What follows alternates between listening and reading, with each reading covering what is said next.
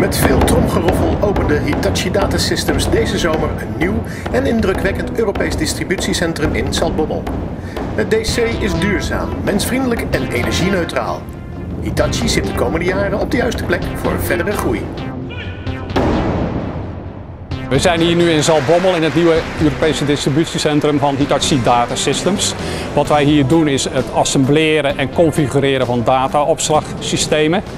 Op het moment dat wij die hier hebben gebouwd en getest, gaan ze hier vandaan naar onze klanten in EMEA, Europe, Middle East en Afrika.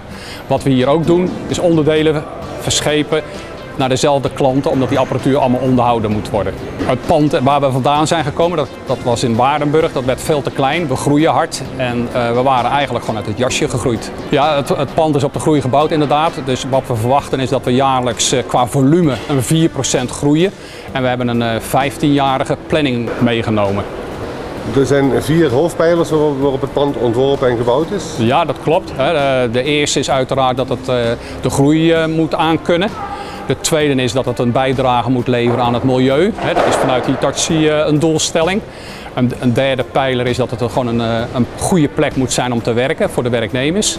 En het laatste is dat het ook een goede plek moet zijn om klanten te kunnen ontvangen, zodat gewoon de klantervaring gewoon optimaal is. De werkomgeving is gewoon uh, fijn, een hoop licht, royale ruimtes, dus dat, is gewoon, dat draagt dat aan bij. Als je kijkt naar het milieu, hè, dan hebben we hier op een dak van 22.000 vierkante meter wat helemaal vol ligt met zonnepanelen. We hebben een warmte-koude opslagsysteem.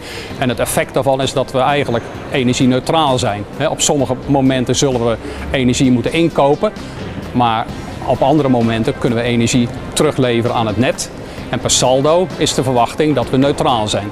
Het, pand is gebouwd eh, uit beton.